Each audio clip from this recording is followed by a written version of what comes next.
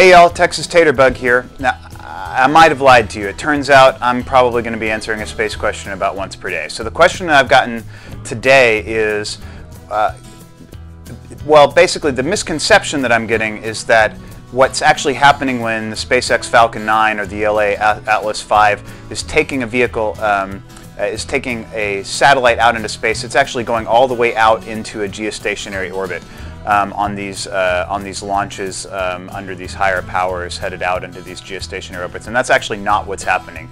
A geostationary transfer orbit is not the same thing as a geostationary orbit. So let's talk about that briefly. Um, I've got some props here. I have the Earth. If this looks like a skateboard wheel on a drumstick, it's a skateboard wheel on a drumstick. I also have our satellite and launch vehicle together.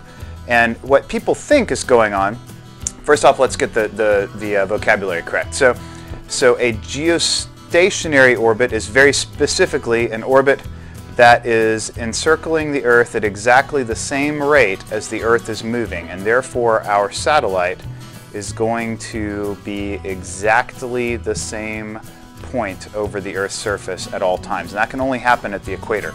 Now, a, a little bit different from that, a, ge, uh, a geosynchronous orbit is any, any, is any orbit where um, we're, we're kind of close. The, the vehicle is traveling at a speed that keeps it over roughly the same space over the Earth's surface. So a geostationary transfer orbit is something very different than that. And so what, what I think people think is going on is that Falcon 9 or the ULA Atlas V is taking off and taking the satellite all the way out into that orbit, right? Well, that orbit is a long, long way away, folks, all right? It's like 22,000 miles away or something, all right? So, so that's not what's going on here, all right? I mean, the, the space station's like here, and geostationary orbit's like there. So, so we're not putting stuff way out there um, with these GTOs, these geostationary transfer orbits. What's actually going on is, is something different. So let's talk about that. So our space vehicle takes off, Atlas V, Falcon 9, whatever it happens to be, and it starts to accelerate and it, and gets into that stage two. That second stage is going to carry this um, out to where it releases it, probably somewhere like here, and it sends it off into this very elliptical orbit. So now our satellite is traveling in this very elliptical orbit the perigee of the orbit is somewhere down around where it was released. And the apogee of that orbit is out here 22,000 miles or so at the actual uh, point where we're going to be in that geostationary orbit.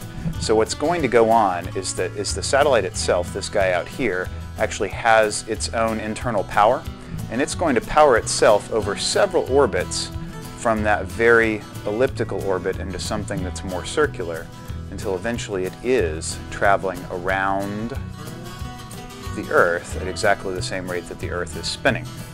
And at that point, it's somewhere like 22,000 miles out, and it's going like like a little less than two miles per second or something ridiculously fast.